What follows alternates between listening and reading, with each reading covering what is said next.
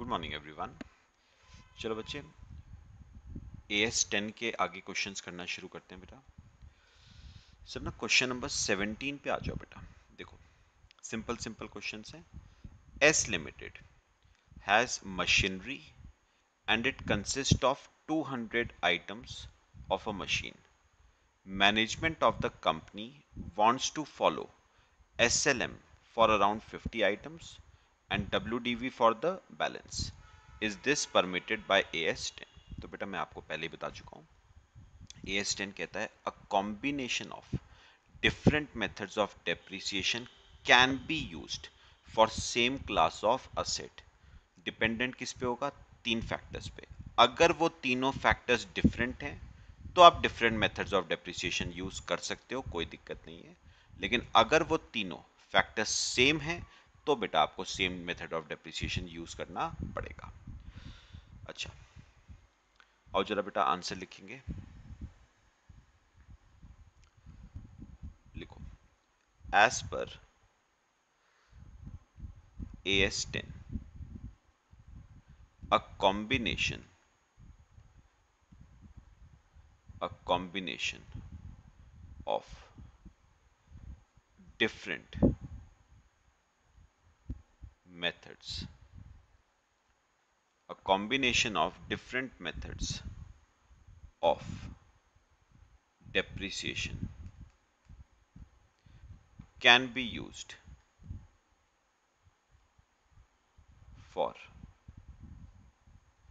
same class of assets. Taking into account taking into account three factors ठीक है बेटा? कौन कौन से वो तीन फैक्टर्स थे? पहला था हमारा nature and type of asset ठीक है? Second usage of asset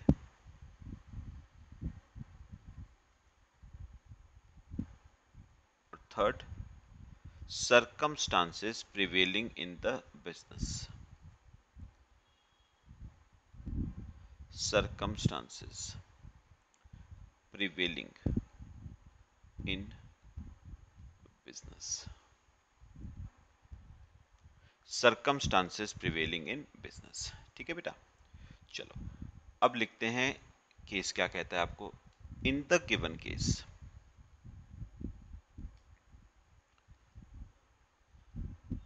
in the given case comma entity wishes to follow wishes to follow SLM for around 50 items of a machine. For around 50 items of a machine and WDV for balance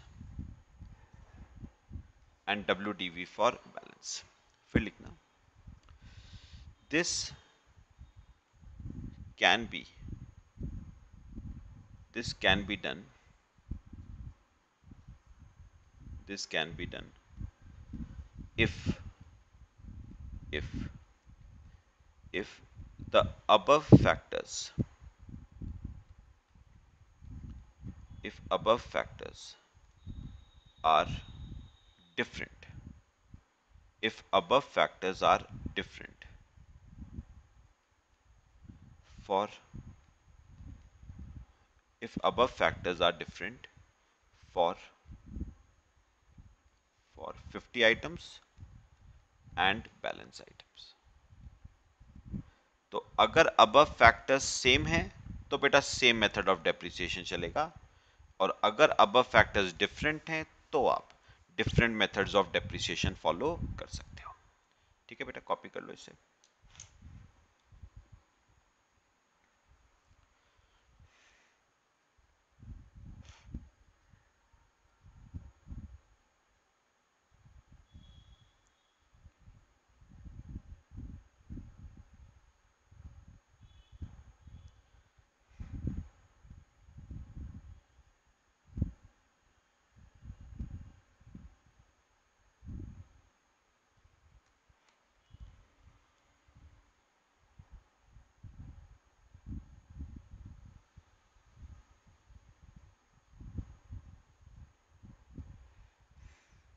ठीक है बेटा। चलें आगे चलें।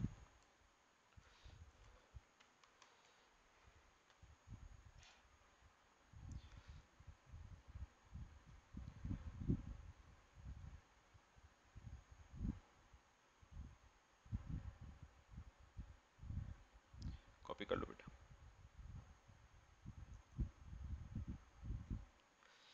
चलो एक और question करते हैं बेटा आ जाओ छोटे छोटे क्वेश्चन हैं बेटा। देखो eighteen question L limited has two cars its nature and usage are same but management wants to use S L M for one car and reducing balance method for other car is this permitted as per S ten बेटा, याद रखना। Nature and usage same है बेटा।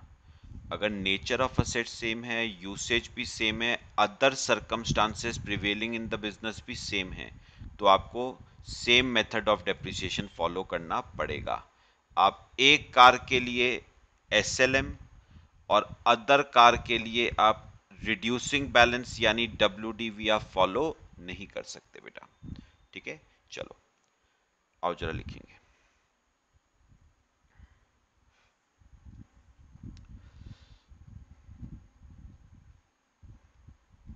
S पर starting paragraph तो बेटा वही रहेगा जो ऊपर था। As per A S ten a combination of different a combination of different methods of depreciation can be used can be used for same class of assets after taking into account the following factors after taking into account the following factors pehla nature and type of asset nature and type of asset दूसरा usage of asset तीसरा circumstances prevailing in business ठीक है? अब क्योंकि बेटा इस case में nature भी सेम है टाइप भी सेम है यूसेज भी सेम है सरकमस्टांसिस के बारे में कुछ लिखा नहीं है, मान के चलते हैं वो भी सेम है। In the given case in the given case since the above three factors since the above three factors are same are same for both cars for both cars therefore same method of depreciation. Therefore same method of depreciation must be followed. Must be followed for both cars. The same method of depreciation must be followed for both cars. Hence the contention of management is incorrect. Hence, contention of management is incorrect. Contention of management is incorrect. लो बेटा copy कर लो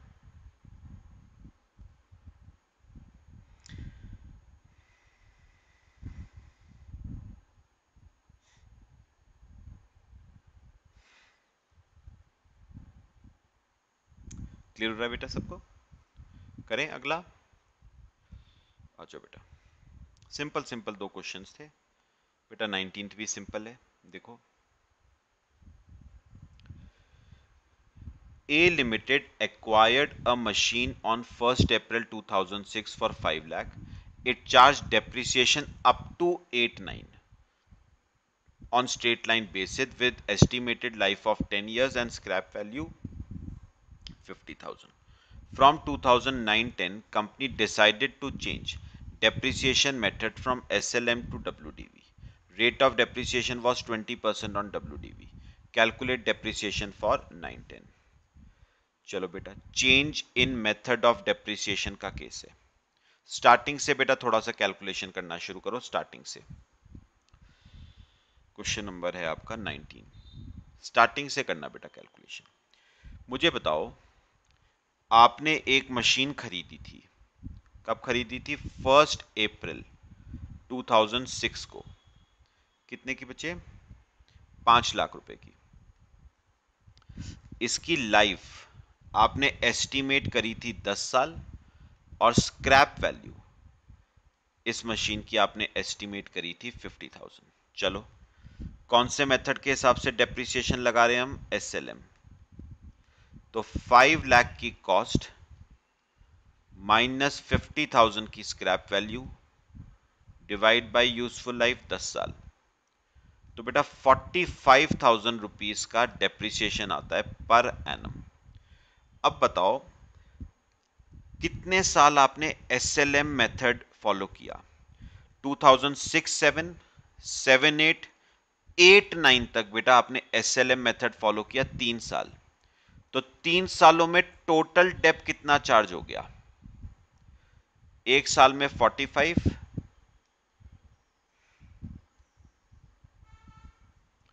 एक साल में 45,000 तो बेटा तीन सालों में one lakh thirty five thousand का क्या चार्ज हो गया? डेप्रिसिएशन ठीक है? अच्छा तो फिर बेटा डब्ल्यू क्या बची? एज ऑन फ़र्स्ट अप्रैल 2009 बेटा, पाँच लाख का असेट था और तीन सालों में एक लाख पैंतीस हज़ार का डेप्रिसिएशन लग गया। तो three lakh sixty five thousand की डब्ल्यू रह गई बेटा। अब वो कह रहा है company nine ten onwards method of depreciation SLM से बदल के डब्ल्यू करना चाहती है बेटा। It is regarded as a change in accounting estimate और अगर अकाउंटिंग एस्टीमेट में बेटा चेंज आएगा तो कॉन्सिक्वेंटली डेप्रिसिएशन में भी चेंज आएगा। तो बताओ डेप्रिसिएशन फॉर नाइन टेन कितना होगा बेटा? तीन लाख पैंसठ हज़ार की डब्ल्यू पे क्या रेट ऑफ़ डेप्रिसिएशन है बेटा? ट्वेंटी परसेंट का डेप्रिसिएशन है। तो सेवेंटी थ्री थाउज़ेंड आ जाएगा बेटे। सेवेंटी थ्री थाउज़ेंड का डेप्रिसिएशन तो नाइन टेन का डेप्रिसिएशन होगा बेटा सेवेंटी थ्री थाउज़ेंड। लो बच्चे सिंपल सा केस था कॉपी करो। कॉपी कर लो बेटे।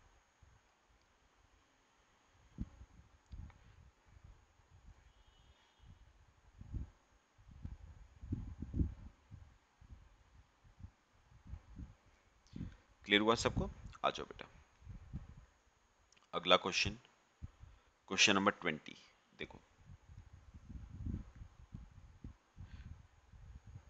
पढ़ो बेटा, क्वेश्चन नंबर ट्वेंटी पढ़ो।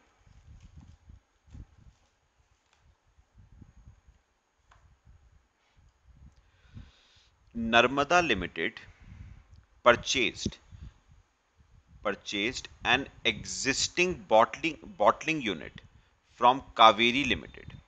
Kaveri Limited followed straight line method of charging depreciation on machinery of sold unit, whereas Narmada Limited followed WDV method in its other unit. The directors of Narmada Limited wants to continue to charge depreciation for the acquired unit in SLM which is not consistent with the WDV method followed in other units. Discuss the contention of the directors with reference to AS 10. तो बेटा बात ये भी simple हो गई ना हुआ क्या है बात समझो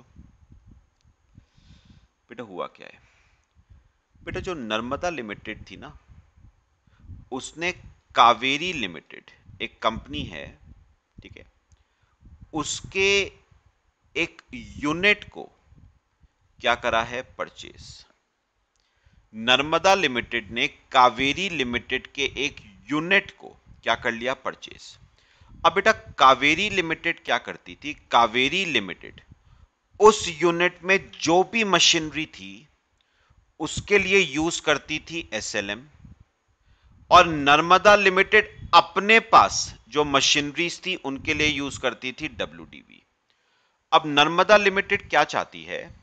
कि हम अपनी मशीनरीज पे तो डब्ल्यू ही यूज़ करते जाएँ, जो पहले कर रहे थे, और कावेरी लिमिटेड पे एसएलएम ही यूज़ करते चले, जो कावेरी लिमिटेड खुद कर रही थी। मतलब बेसिकली पता क्या है? Narmada limited.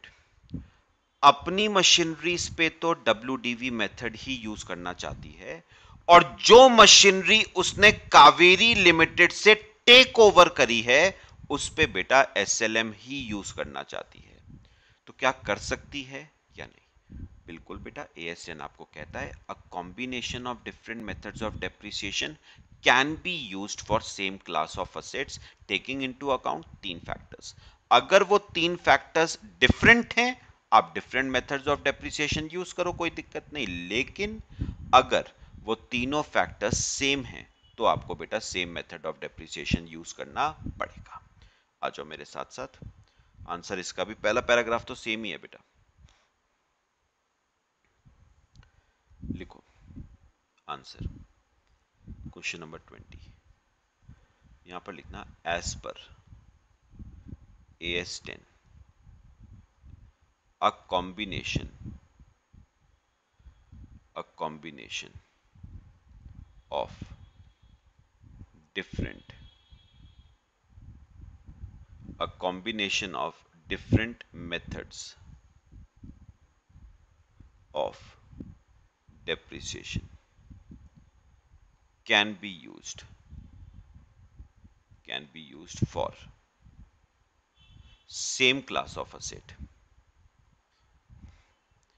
can be used for same class of asset after taking into account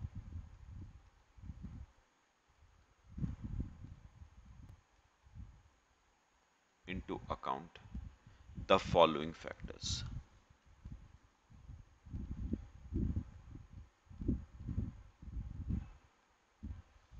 after taking into account the following factors बेटा कौन कौन से वो तीन फैक्टर थे nature and type of asset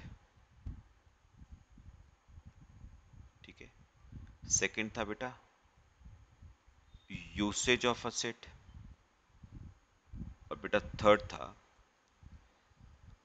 Circumstances prevailing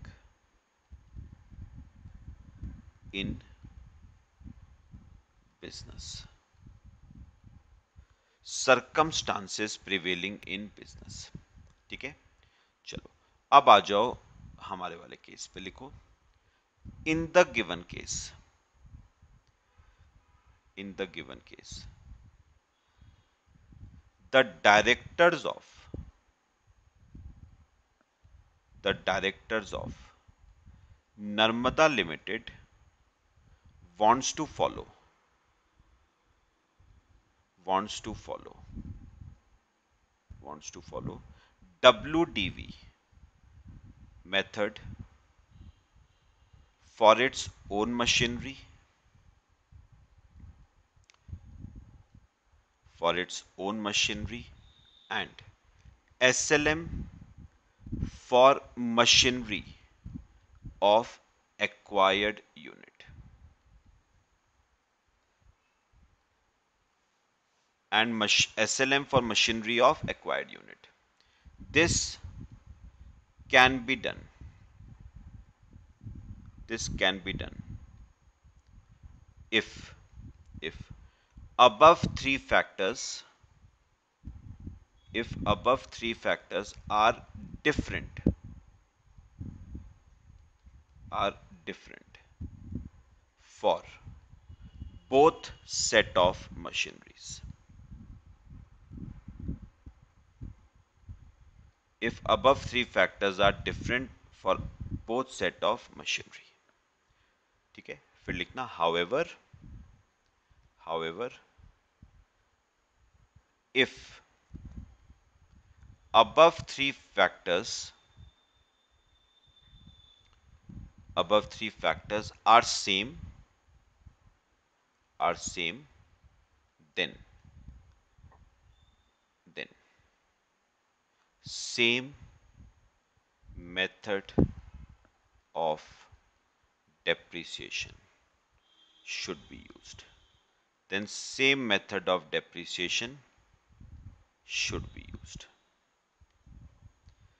ठीक है बेटा लो कॉपी कर लो इसे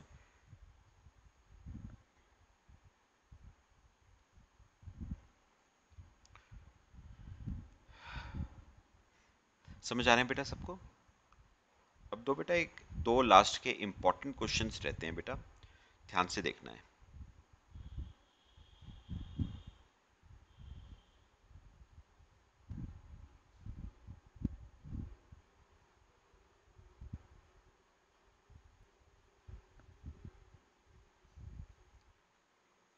करें बेटा, चलो आ जाओ। देखो, अब दो इंपॉर्टेंट क्वेश्चंस कर रहे हैं बेटा। क्वेश्चन नंबर ट्वेंटी वन देखना है बेटा। Question number twenty one. In the books of optic fibre limited plant and machinery stood at six lakh thirty two thousand on first April thirteen. However on scrutiny it was found that machinery worth 1 lakh 20,000 was included in purchases on 1st June 13.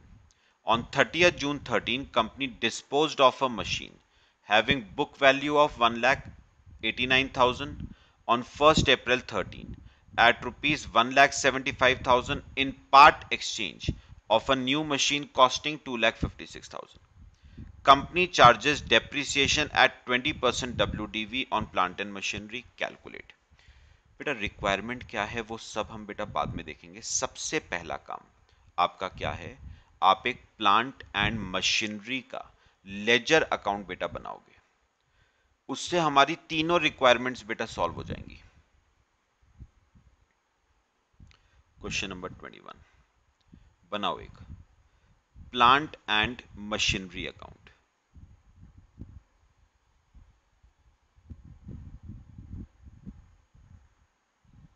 चलो बेटा। सबसे पहले मुझे बताओ opening balance आपको first April thirteen को दे रखा है। Six lakh thirty two thousand to balance brought down six thirty two ठीक है? फिर however on scrutiny it was found that machinery worth 120 was included in purchases on first June बेटा, हुआ क्या था? हमने एक मशीनरी परचेस करी थी 120 की। फ़र्स्ट जून को, बेटा, एंट्री होनी चाहिए थी मशीनरी डेबिट टू कैश, लेकिन हमने मशीनरी को डेबिट करने के बजाय हमने परचेजेस को डेबिट कर दिया। मतलब हमने एंट्री बना दी परचेजेस डेबिट टू कैश। तो बेटा, किसको डेबिट करना था? मशीनरी को, नहीं करा डेबिट तो अब कर देंगे। Machinery account debit to. गलती से डेबिट किसको कर दिया? परचेजेस को। तो सही करने के लिए परचेजेस को क्या कर देंगे? क्रेडिट। तो रेक्टिफाइड एंट्री बेटा क्या बनेगी? Machinery account debit to purchases account. First June को।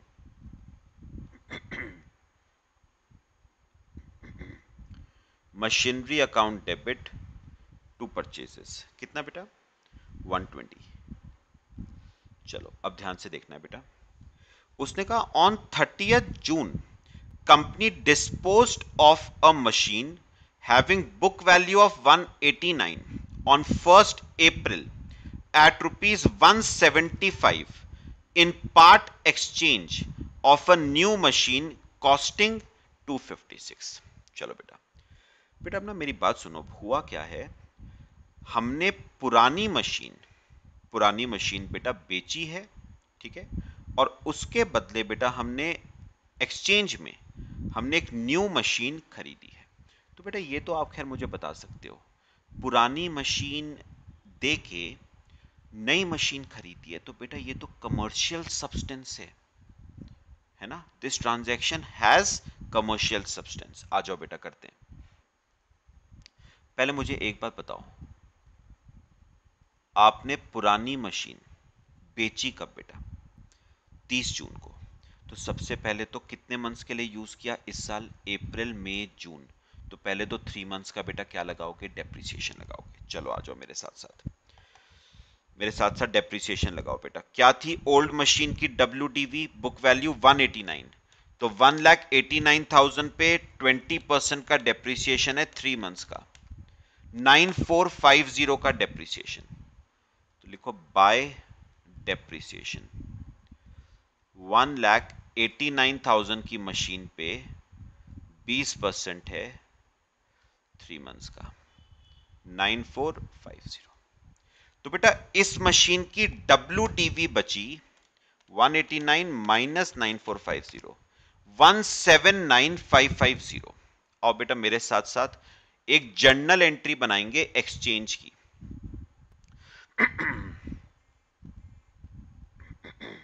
जर्नल एंट्री बेटा।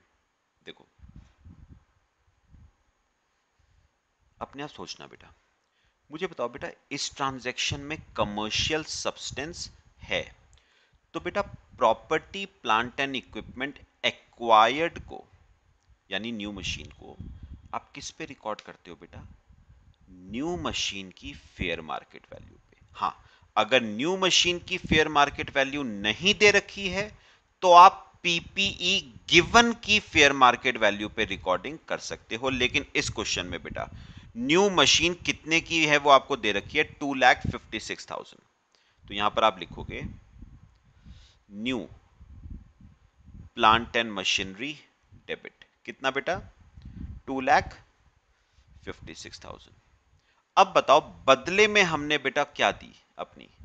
ओल्ड मशीन दी ओल्ड प्लांट एंड मशीनरी क्या डब्ल्यू बची उसकी? One seven nine five five zero की। है ना? कैसे आया one seven nine five five zero one lakh eighty nine thousand की डब्ल्यू थी, उस पर तीन मंथ्स का डेप्रिसिएशन लगाया नाइन फोर फाइव ज़ीरो तो बची one seven nine five five zero की। अब बताओ, आपने one seven nine five five zero की मशीन एक लाख पिचहत्तर हज़ार की दे दी। तो बेटा ओल्ड मशीन पे लॉस भी तो हुआ आपको कितना? One seven nine five five zero की मशीन एक लाख पिचहत्तर हज़ार की दे दी। तो फोर फाइव फाइव ज़ीरो का लॉस हुआ। पीएल डेबिट होगा बेटा। कितना? फोर फाइव फाइव ज़ीरो ठीक है? बताओगे, बचा हुआ आपने किसमें दिया होगा बेटा? कैश में दिया होगा ना बचा हुआ अमाउंट टू कैश ठीक है? कितना कैश दिया होगा बेटा? निकालना जरा। Four five five zero plus two fifty six minus one seven nine five five zero eighty one thousand बेटा आपने कैश में दिया होगा। बस। वैसे मैंने कहा था, जहाँ पर कैश आ जाए तो बेटा वहाँ पर तो कमर्शियल सब्सटेंस होगा ही होगा। कॉपी कर लो बेटा। फिर इसकी पोस्टिंग करते हैं। बेटा, कौन सी डेट को आपने ये एक्सचेंज किया था 30 जून को? 30 जून 2013 बेटा।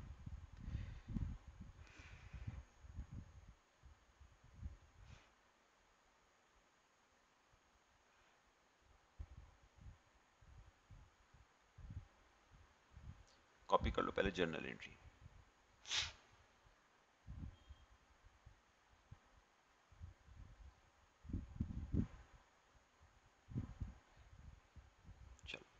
अब सुनो बेटा। उसने क्या कहा है? बेटा न्यू मशीन को कितने से डेबिट करना है? Two lakh fifty six thousand से। तो यहाँ पर हम करते हैं टू टू बेटा, अब आप ना टू आप लिख सकते हो। ओल्ड मशीनरी एंड कैश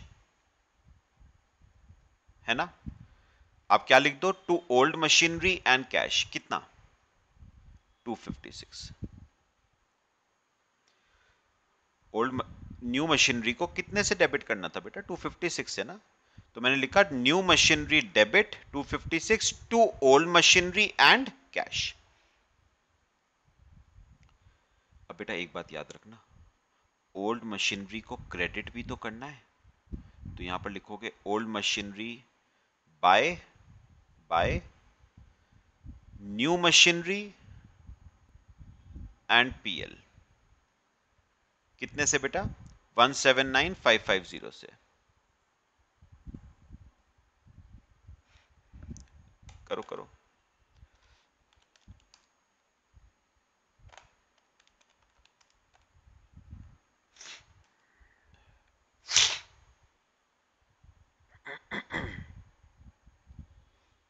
लो बेटा। न्यू मशीनरी को डेबिट कर दिया, ओल्ड मशीनरी को क्रेडिट कर दिया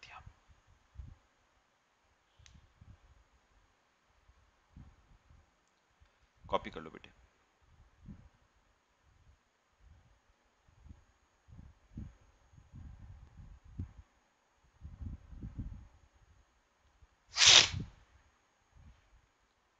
ठीक है बेटा, समझ आया?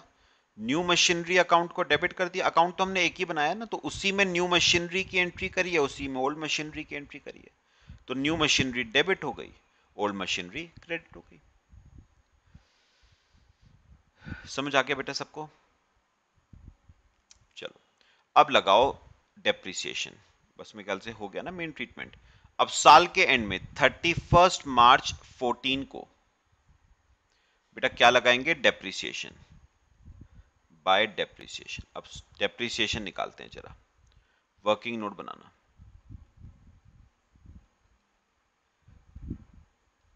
कैलकुलेशन ऑफ़ डेप्रिसिएशन देखो बेटा, सबसे पहले मुझे बताओ, मेरे पास ओपनिंग बैलेंस में कितनी मशीनरी थी? Six lakh thirty two thousand की। बेटा, उसमें से मैंने, उसमें से one lakh eighty thousand eighty nine thousand W की मशीन तो मैंने बेच दी ना तो वो माइनस कर दो। तो सिक्स थर्टी टू में से six lakh thirty two thousand में से one lakh eighty nine thousand W की मशीन बेच दी।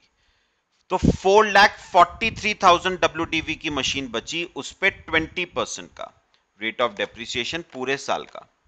एट्टी एट सिक्स हंड्रेड का डेप्रिसिएशन तो ये आ गया। अच्छा फिर, बेटा, फिर आपने कुछ मशीनरी परचेज करी थी ऑन फ़र्स्ट जून कितने की?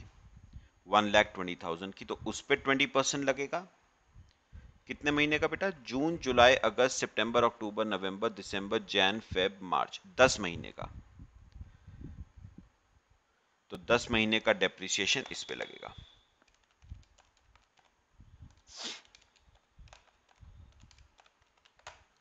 बीस हज़ार का डिप्रिसिएशन ठीक है बेटे? अच्छा। फिर इसके अलावा आपने कुछ मशीन परचेज करी थी ऑन थर्टी जून जो एक्सचेंज में खरीदी थी। कितने की? 256 की। तो two lakh fifty six thousand पे ट्वेंटी परसेंट कितने मंथ्स का? नाइन मंथ्स का। इस पे लग जाएगा। Two lakh fifty six thousand पे ट्वेंटी परसेंट नाइन मंथ्स का। थर्टी एट फोर हंड्रेड बस टोटल कर लो इसका। One lakh forty seven thousand का डेप्रिसिएशन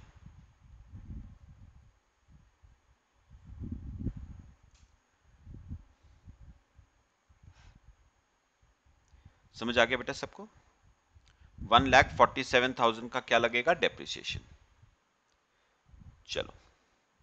31 दिसंबर 31 मार्च को एंट्री करो। By depreciation one lakh forty seven thousand. और बस क्लोजिंग बैलेंस निकाल लो। बाय बैलेंस कैरेट डाउन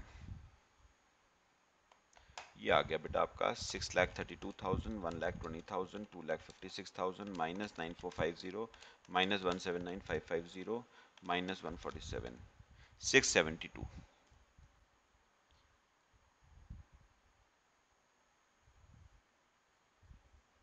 लो बेटा, ये आपका क्लोजिंग बैलेंस करो बेटा कॉपी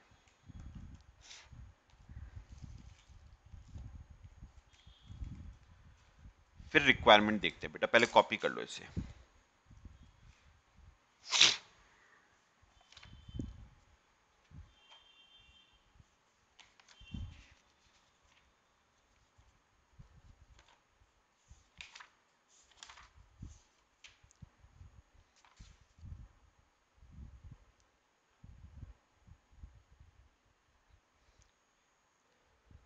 ठीक है बेटा?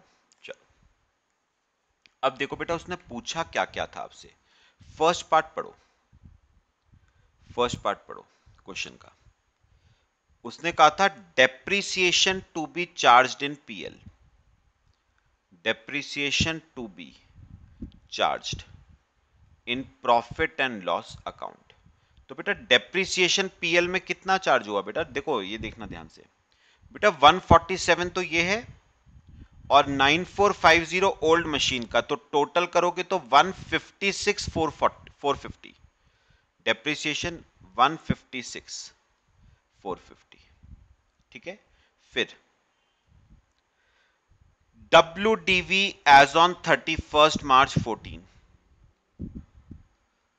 closing W DV देखो कितनी निकाली हमने। 672 क्लोजिंग डब्ल्यू डीवी 672 और बेटा तीसरा पार्ट है आपका loss on exchange of machine loss on exchange of machine बेटा मशीन के एक्सचेंज पे हमें कितना नुकसान हुआ ये देखो बेटा। कितना नुकसान नुकसान हुआ हमें? फोर फाइव फाइव ज़ीरो का बेटा हमें नुकसान हुआ है। तो loss on exchange of machine four five five zero लो बेटा ये आपका ट्रीटमेंट हो गया पूरा। ठीक है? तो प्लांट एंड मशीनरी अकाउंट बना के बेटा क्लियर हो जाएगा आपको। लास्ट क्वेश्चन देखते हैं बेटा फिर। ए एस टेन खत्म हो जाएगा आपका।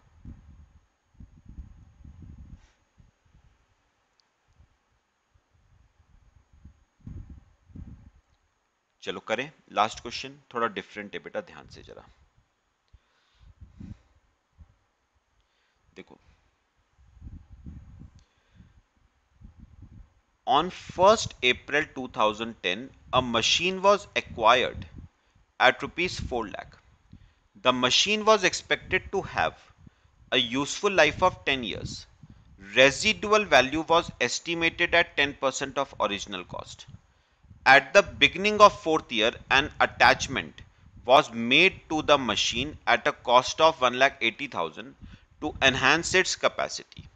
The attachment was expected to have a useful life of 10 years with zero residual value. During the same time, machine was revalued upward by 90,000 and remaining useful life was reassessed at 9 years and residual value was reassessed at nil. Find depreciation for fourth year assuming ये देखना बेटा attachment retains its separate identity और attachment becomes integral part of the machine. बेटा, ये मेरी बात सुनना जरा। मैं थोड़ा सा ना एक्सप्लेन करूँगा बेटा आपको। ये देखना बेटा। थोड़ा समझने वाला केस है बेटा, नया केस है। सिंपल है वैसे, देखो। बेटा, कई बार ना, कई बार आपको अपनी मशीन में कुछ बेटा अटैचमेंट्स लगानी पड़ती है। ताकि मशीन की कैपेसिटी को बढ़ाया जा सके। अब बेटा अटैचमेंट ना दो तरह के होते हैं। पहला it is integral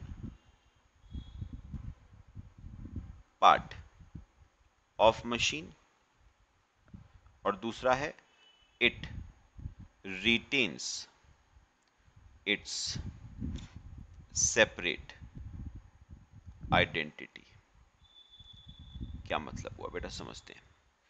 बेटा it is integral part of the machine का मतलब हुआ कि जो अटैचमेंट है ना, उसकी खुद की, उसकी खुद की अपनी कोई पहचान नहीं है। जैसे बेटा, अगर मैं आपको एग्जांपल दूँ, जैसे आपका डेस्कटॉप होता है ना बेटा डेस्कटॉप कंप्यूटर और बेटा सीपीयू होता है। तो बेटा सीपीयू के अंदर हार्ड डिस्क लगती है है ना? सीपीयू के अंदर हार्ड डिस्क लगती है बेटा। तो बेटा एक बात याद रखना, ये जो हार्ड डिस्क है ना this hard disk is an attachment तो बेटा ये जो हार्ड डिस्क है ना, ये जो हार्ड डिस्क है, ये एक अटैचमेंट है। लेकिन बेटा, ये जो हार्ड डिस्क है ना, इसकी खुद की खुद की अपनी कोई पहचान नहीं है बेटा। हार्ड डिस्क का यूज़ सिर्फ़ तभी तक है बेटा, जब तक वो कंप्यूटर के अंदर बेटा इंस्टॉल्ड है। हार्ड डिस्क का अपना एज सच कोई यूज़ नहीं है। तो बेटा आप कह सकते हो कि जो ये हार्ड डिस्क है ना, ये आपकी मशीन का इंटीग्रल पार्ट है। उसकी अपनी खुद की कोई पहचान, अपनी खुद की कोई आइडेंटिटी नहीं होती है। लेकिन बेटा जैसे कंप्यूटर के साथ प्रिंटर अटैच होता है बेटा। प्रिंटर कंप्यूटर के साथ प्रिंटर अटैच अटैच होता है। तो बेटा प्रिंटर जो होता है ना, उसकी बेटा अपनी खुद की पहचान होती है। प्रिंटर की खुद की अपनी पहचान है। जबकि हार्ड डिस्क तो सीपीयू के अंदर इंसर्ट हो गई, आप फिर उसे हार्ड डिस्क के नाम से नहीं बुलाओगे, आप उसे सीपीयू के नाम से बुलाओगे। मदरबोर्ड बेटा मदरबोर्ड की अपनी थोड़ी ना कुछ पहचान है। एक बार सीपीयू के अंदर इंस्टॉल हो गया तो आप उसे सीपीयू के नाम से बुलाओगे। लेकिन बेटा प्रिंटर की अपनी खुद की पहचान होती है। प्रिंटर की अपनी खुद की पहचान है बेटा हार्ड डिस्क की मदरबोर्ड की, इन सब की बेटा अपनी खुद की पहचान नहीं होती है। इन्हें कंप्यूटर के नाम से बुलाया जाता है कलेक्टिवली जबकि प्रिंटर को कंप्यूटर के नाम से नहीं बुलाया जाएगा प्रिंटर की खुद की एक सेपरेट आइडेंटिटी होती है। बात समझ आई? अब बेटा आपको जो ए एस टेन ना, वो क्या कहता है?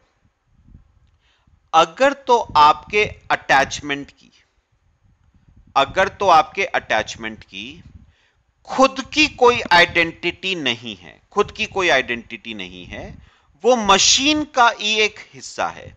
तो उस केस में depreciate it depreciate it over remaining useful life of mean asset over remaining useful life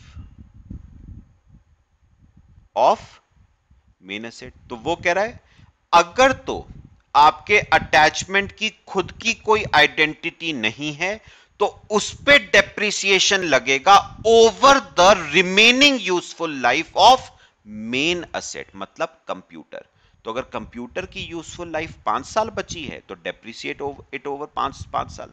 अगर आपके कंप्यूटर की यूजफुल लाइफ दस साल बची है तो हार्ड डिस्क पे डेप्रिसिएशन लगा दो over a period of ten years लेकिन बेटा, अगर असेट की अटैचमेंट की, खुद की बेटा सेपरेट आइडेंटिटी है तो उस पर डेप्रिसिएशन बेटा मेन असेट की यूजफुल लाइफ के हिसाब से थोड़ी ना लगेगा.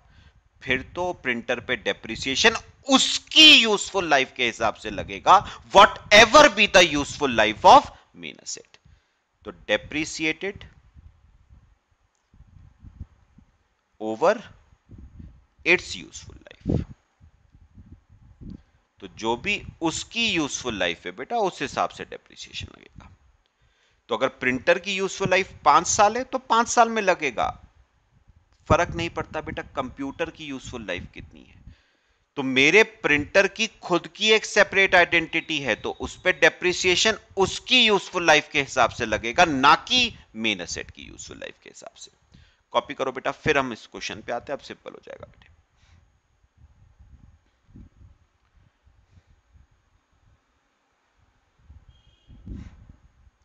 ठीक है बेटा? चलो। अब मुझे बताओ, इस क्वेश्चन में नीचे पढ़ो बेटा, पहला पार्ट क्या था? Assume that attachment retains its separate identity मतलब सेकंड केस है बेटा। Attachment retains its separate identity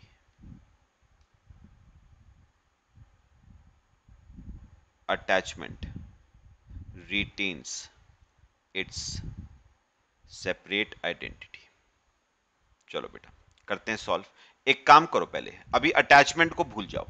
attachment को बेटा बिल्कुल भूल जाओ। पहले जरा स्टार्टिंग से फ़र्स्ट लाइन ऑनवर्ड्स बेटा सॉल्व करना शुरू करते हैं। On first April 2010 first April 2010 को बेटा, हमने एक मशीन खरीदी थी, जिसकी कॉस्ट चार लाख रुपए थी। ठीक है? बेटा, इस मशीन की लाइफ क्या थी? दस साल। और रेजिडुअल वैल्यू थी scrap value ten percent of cost तो चार लाख की कॉस्ट का टेन परसेंट चालीस हज़ार। तो अगर मैं डेप्रिसिएशन निकालूं मशीन पे तो चार लाख कॉस्ट माइनस चालीस का डेप्रिसिएशन ओवर दस साल की यूजफुल लाइफ तो बेटा थर्टी सिक्स थाउज़ेंड पर एनम का डेप्रिसिएशन आता है मशीन कॉपी करो बेटा। सीक्वेंस में चलना है। ठीक है? अब सुनो। फिर उसने कहा at the beginning of fourth year an attachment was made to the machine at a cost of one lakh eighty thousand to enhance its capacity the attachment was expected to have a useful life of ten years with zero residual value बेटा, मैं attachment वाले part को अभी ignore कर रहा हूँ, उस पर बाद में आते हैं। पहले देखो आगे। During the same time machine was revalued upward by ninety thousand बेटा, मुझे बताओ, तीन साल निकल चुके हैं बेटा। तो बताओगे बेटा, तीन सालों में कितना डेप लग चुका है? एक साल का थर्टी सिक्स तो बेटा, तीन सालों में डेप लग चुका है एक लाख आठ हज़ार। तो बताओगे बेटा डब्ल्यू हमारे असेट की कितनी बची? चार लाख की कॉस्ट माइनस एक लाख आठ हज़ार का डेप तो डब्ल्यू टीवी आपके असेट की बची two lakh ninety two thousand ठीक है? अब हमने क्या करा?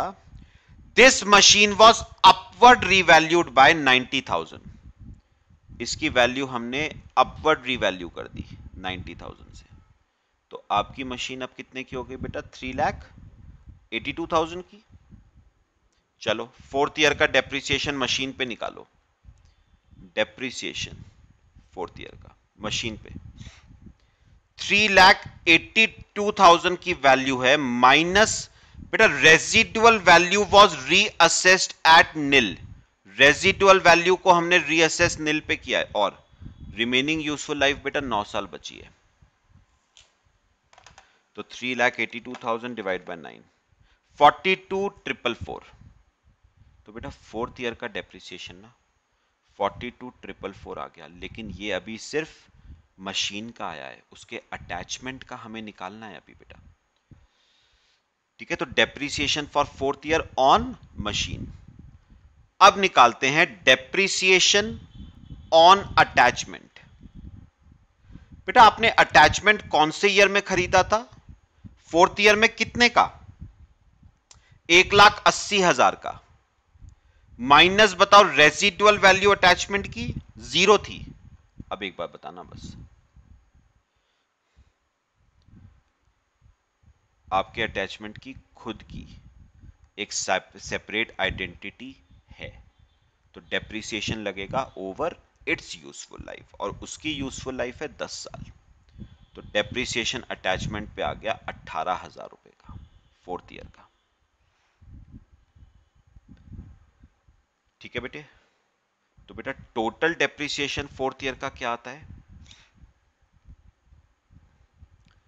Total depreciation for fourth year four two triple four main asset का और अट्ठारह हज़ार अटैचमेंट का। तो sixty thousand four forty four का आपका डेप्रिसिएशन आएगा।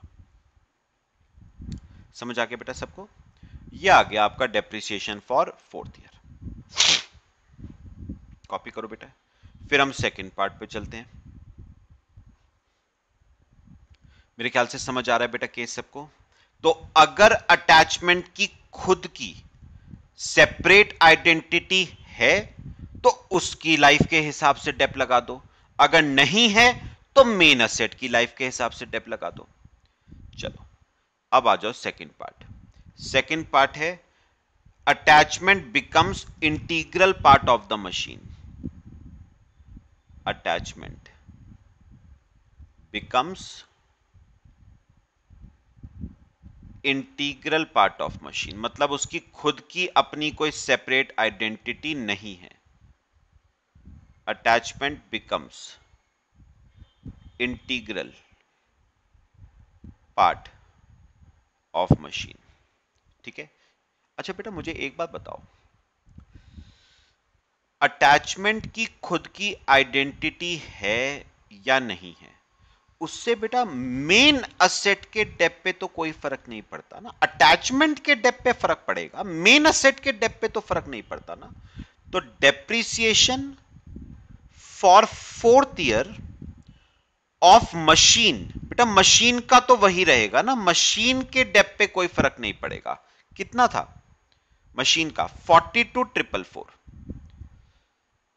हाँ अटैचमेंट का डेप्थ चेंज होगा, वो हम निकालते हैं। Depreciation on attachment. For. Fourth year.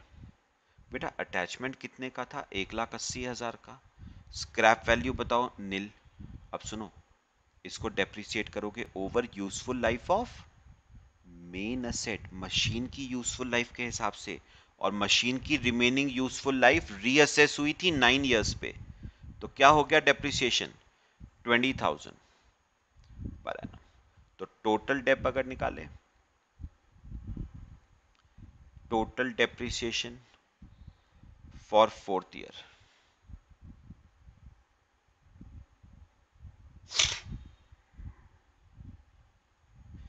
तो forty two triple four plus बीस हज़ार। सिक्सटी टू ट्रिपल फोर लो बेटा, ये आपका डेप्रिसिएशन आ गया फोर्थ ईयर का सेकंड केस में। समझ आया बेटा? तो अगर अटैचमेंट की अपनी एक आइडेंटिटी है, अपनी पहचान है तो डेप्रिसिएशन लगाओ ओवर इट्स यूजफुल लाइफ अगर नहीं है तो डेप्रिसिएशन लगाओ over useful life of main asset लो बेटा। कॉपी कर लो बच्चे। ठीक है बेटा। तो बेटा आपका ना एक, अब दो एस हमारे हैं, रहते जो कोर्स में आपके हैं। एक बेटा ए एस थ्री रहता है, लेकिन वो हम ऑलरेडी बेटा कैश फ्लो स्टेटमेंट चैप्टर हमने किया था ना ऑलरेडी बेटा ए एस थ्री हमारा कैश फ्लो स्टेटमेंट चैप्टर में कवर हो गया है। एक ए एस हमारा थर्टीन रहता है, जो वैसे बेटा मेरा इन्वेस्टमेंट्स चैप्टर में A S thirteen is accounting for investments वैसे हम ए एस थर्टीन को इन्वेस्टमेंट्स चैप्टर में कवर कर चुके हैं, लेकिन फिर भी हम एक बार ए एस थर्टीन ना बेटा नेक्स्ट क्लास में देखेंगे ज़रूर। थोड़ी कुछ बातें हैं जो डिस्कस करनी है आपसे बेटा। सब बताओ बेटा क्लियर हुआ? चलो बच्चे, बाकी नेक्स्ट लेक्चर में डिस्कस करते हैं, ठीक है? Till then thank you